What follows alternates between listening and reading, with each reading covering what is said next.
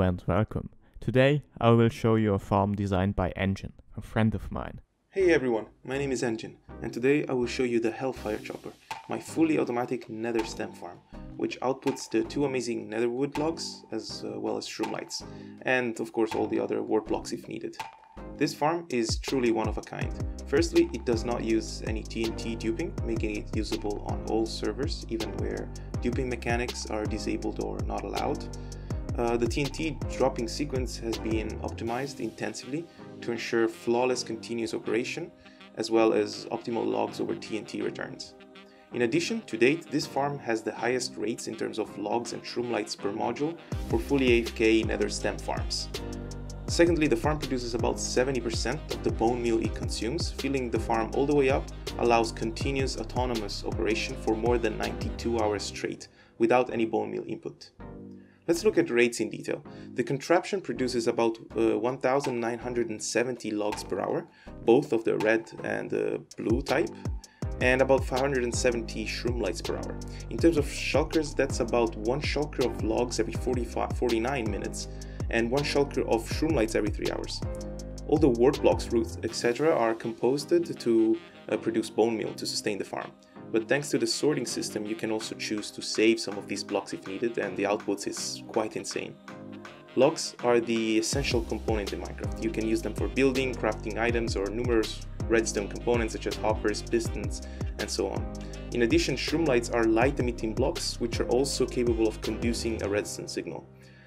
So this makes this farm extremely useful for your survival world. The TNT usage is about 5.4 stacks per hour, and there is plenty of storage for long AFK sessions. The farm was born from the idea of using four refreshing pistons on which we attempt to grow trees and then blow them up from the inside out, which was originally conceived by TangoTek in Hermitcraft Season 7.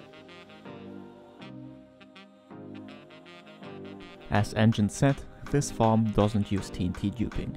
This means it can run on any server, since many servers don't allow TNT duping, and it's also great for people that don't like cheaty game mechanics. The TNT usage is optimized and is very efficient. Sequence found to be optimal is a particular repetition of dropping 1, 2, 3 and rarely 4 TNT, according to a specific pattern from a single dispenser. Correct. The four pistons are governed by individual circuits connected to a customizable sequence generator, which is activated every cycle by an instant vertical redstone wire using water mechanics. The farm has also several interconnected systems and processes which will be explored in detail in later videos. Yes, if you're interested in an in-depth look at the farm and how to make it, be sure to leave a like and comment down below. We will also provide the world download. This farm is also easy to operate and maintain. To turn it on or off, simply flick this lever here. You can then input bone meal from these chests and TNT from this hidden barrel here. In addition, there are several warning alarms in place to give you feedback on the status of the farm. Firstly, we have a low on TNT warning at the very top of the farm. At that point, the farm has a bit more than 2 hours of TNT reserves. Secondly, if the farm runs out of TNT, the emergency stop will activate, thus instantly turning off the farm and overriding the on switch. In this case, simply refill the farm with TNT and press the manual reset button.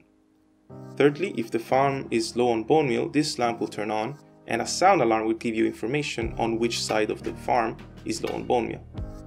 Finally, the clogging warning is given if the farm has ingested unwanted items that cannot be composted, thus telling you to check the hoppers behind this bone, uh, the bone meal production section and to maybe recover that netherite armor or tool that you dropped in the farm while you were working on it or simply died by mistake in it. The farm can produce two different kind of logs, and you can easily switch between them by switching the central block to warped or crimson nylium. Correct. Technically, it is also possible to run both types of trees at once by using two crimson and two warped nylium blocks on the refreshing pistons. But eventually, after about 15 to 20 minutes of operation, all the four blocks will be turned to the same color as the center middle block, thus only giving you one type of tree at a time. So this will be all for the initial showcase of this novel design. Thank you very much for watching. And stay tuned because more details on this farm are yet to come. Engine also has some other projects he wants to show you off in the future, and we already have some ideas for collaborative projects. I'm currently working on a pretty big project myself, which is even more complicated than my lift. So stay tuned, don't forget to subscribe if you don't want to miss anything in the future, and as always, thanks for watching, bye bye, and till next time.